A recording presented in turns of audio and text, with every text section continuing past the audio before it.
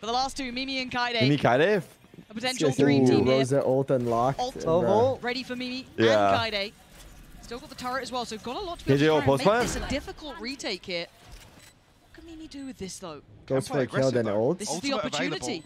Opportunity. Do it, do it, do it, Yeah, she do has to decide Do here it, if she do wants to play time with the Clove Ultimate or if she wants to get aggressive and try to make a difference and really. Oh, I think it's taking too long, I'm not gonna she lie. wants the pick first, which she's gonna get. Oh, sh Opportunity now. oh she was waiting, she was waiting. Lockdown gonna come into effect as well. Mimi's Wait, two fallen, pass, there it no? is, not gonna come in, but Oh, you get there's the we were dismiss. looking for. Yeah, Not that's fading what it any of the damage. Never dismiss Leviathan to on place the yourself. though, but it's just Kyedae now. A 1v2 so difficult. What? And just gonna Wait, get how'd she get the Warriors. tins? Oh, the turret! Wait. The turret! And then How'd she get the tins?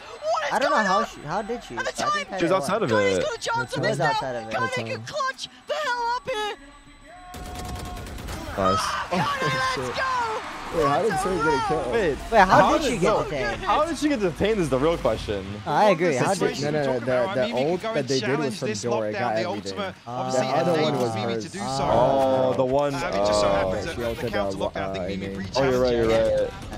To try and push through, but Leviathan hits shots time and time again here. Hey, the, oh, I see. The Crazy killjoy to Kevin, and and she had to well. break the But Kyedae with the killjoy ult. clutch. That's why she died by the turret. No, it's- she had it's- two seconds to I break do the like the option that it, it is that player's choice, right? You're in a 2v3 scenario.